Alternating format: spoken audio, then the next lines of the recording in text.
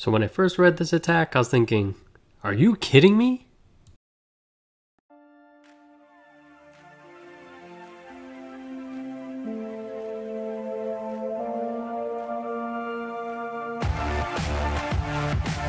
What is up? I'm iWAHnna Turtle, and today we're going to be looking at the latest tag team that just got announced, and it features one Pokemon that I feel like was always pretty cool. The cards always had some interesting mechanics, but was never strong enough to really make a big splash in the meta, and that is Naganadel and Guzzlord GX. That's right, it's a Ultra Beast tag team.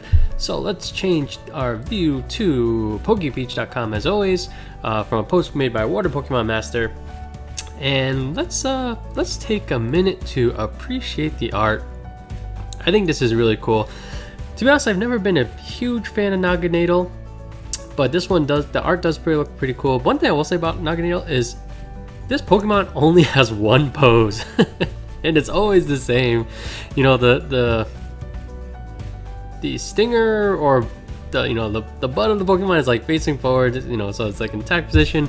I guess you could make the argument Guzzlord doesn't have many poses too, but he I don't know his arts always look really cool. Um, and he always looks very intimidating. I do like how he's in some degree it looks like just like a silhouette of him. Uh, so looks very menacing and very evil, and he's kind of in the background too. So very sick art, and I'm curious how they'll do the alternate art because uh, yeah, the alternate art that the a lot of the new cards have is like super top notch. Um, doesn't look like it'll be like a trainer or anything, but I'm sure it'll be insane. Uh, so let's take a look at the card. So this is going to be an SM12 Alter Genesis. Not sure when Alter Genesis is coming out, but I feel like it the new sets come out like every month or so.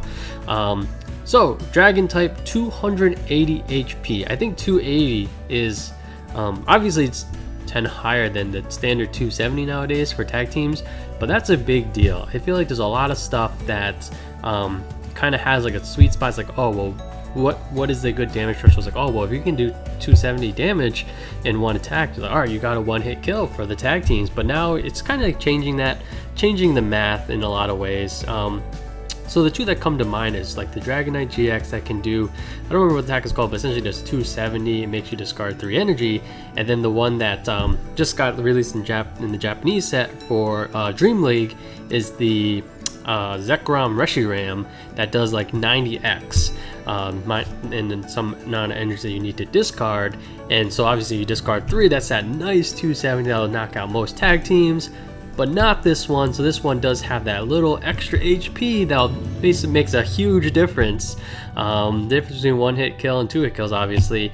And so even though there are still ways to get the job done, you know, there's like Altaria as one way, and there's probably other ways to get tweaking that last bit of damage, but basically it makes it that much harder.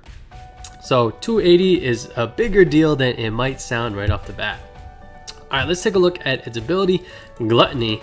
At first, I kind of read this like, okay, that's interesting. Uh, six, discard a Pokemon card from your hand. If you do, heal 60 damage from this Pokemon. And uh, one thing is like, what is going on here? And it's called Gluttony. I feel like the Guzzlord is like, is it eating the Pokemon or something? and then regaining HP? That's kind of uh, almost disturbing. But uh, as far as how good it is, um, I feel like it'll be very situational and it's kind of like a threat. It's just another, um, throws another wrench, a potential wrench in your math to knock out this Pokemon. Uh, I doubt it'll be used a lot, but it just makes it so. I think one way to look at it is if you're looking at 2 hit KO, you have to be able to deal 340. If you deal less than 340 across two hits, you know, this is just another threat. So it just makes that threshold for the two hit KO a little bit higher. Like, and I feel like it's a free bluff. Like, it, you always have to respect it. You can't, if you do like 160 damage, uh, in the back of your mind, like, oh my gosh, this might not pan out. He might have, maybe doesn't have Pokemon in his hand, but there's so many ways to draw cards that, you know, you just have to assume it's there. So even if you never use Gluttony, I feel like it'll still have an effect. Alright, so let's move on to its attack, Jet Pierce. Uh, so this is probably not Gluttony. Um, you know, Guzzlord doing the, the healing. Jet Pierce sounds like a Naganadel thing. Uh, so, Psychic and Darkness colorless. Very strange. Whenever there's like two two different energy, that's never a good thing. And then only one colorless, so you can't use like DC or anything. Always makes it for a little awkward, but there are some, you know, there's a good amount of ways still to do some acceleration when you have double two kinds of energy. It makes it a little bit harder. So, you know, not a unideal like energy cost, but uh, 180 damage with no drawbacks. Um, it's not super high, but it's probably good enough. You know, I feel like it'll take care of most, if not all, like non-GXs and set you up pretty nicely for a two-hit KO for any GX and any tag team for that matter too, even Naganadel Guzzlord itself. And um, so it's a, it's good but not great, I would say. And then here's the. At first, I thought like when I first look at this card, I was like, "Are you kidding me?" Uh, Chaos Order GX. So colorless. And so what does it do for just one color? It's flip over your prize cards, and they remain face up for the rest of the game. Uh, yeah, that that that's that's pretty bad. that's pretty bad off the off uh, to begin with. But where it really comes into play. So this is not a colorless GX attack. It's really a colorless Psychic Dark Energy. So same exact attack, so same exact cost of Jet Pierce. Um, you do that and then you pick two prize cards. So it's like a, a free knockout of a GX, a Pokemon from your opponent It's kind of like um, Burst GX from Blacephalon GX is like, oh, take a prize card. This is double it with a higher energy cost and a bit awkward. But the way I look at this is this is like the guaranteed finisher. Like let's say you're running behind, you're you're a little bit behind, and then they play this and they're setting up. It's like, well, I can't do anything about that. And especially when there's it's going to be very difficult to one hit KO. I feel like this is just the um, you know the last nail, the uh, you know, last nail in the coffin, uh, GG, game over. And uh, so, and but the important thing, it doesn't do any damage. So one of the comment, and we'll take a look through the comments below. I feel like uh, one person made a good point is that you know this doesn't do any damage, which is what kind of like if you're using this to finish match, like yeah, there's no way around it. And sure, two is diff, like kind of an awkward number when in a tag team meta, but I do think that almost all decks will run some kind of non-GX support, uh, whether it's for ramp up or healing or whatever. So you just need to knock out one of those, knock out a tag team, and then this kind of secures it. Uh, but yeah, it is very fair to say like, look, if you're not winning the game with this attack, you know, you're leaving yourself super vulnerable to a free attack without doing anything to your opponent's active Pokemon. Um, so in itself, it's kind of situational. Uh, and, and I feel like that's a very good way to describe this card altogether.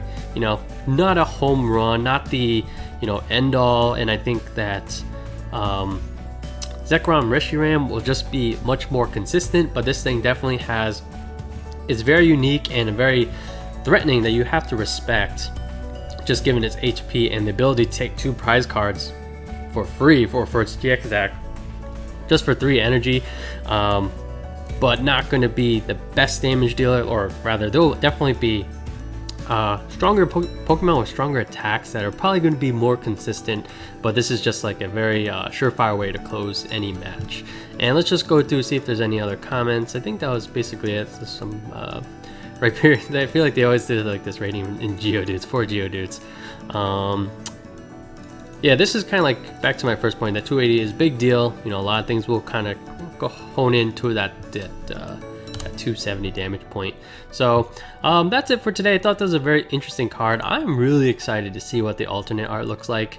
Um, just that that N with the Reshiram Zekrom, like that's mine. Like I do have some uh, Dream League box coming, boxes coming, and I'm really excited to open those. And that is definitely the card we're looking for. Not the regular one, the alternate art looks absolutely insane. That's the one I want the most by far. I think someone posted on the Pokemon TCG Reddit like, is this card real and is it coming to English? Because, you know, that's how hype it is that people even question whether or not it's real. So uh, stay tuned in the near future for that opening. Once I get those boxes, we're definitely doing right away.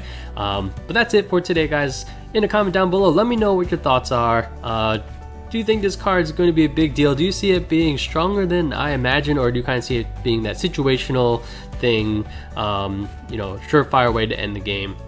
Let me know down below. And uh, that's it for today, guys. Thanks for watching. Like, comment, subscribe, all down below. I'm iWAHnna Turtle, and I'll catch you guys next time.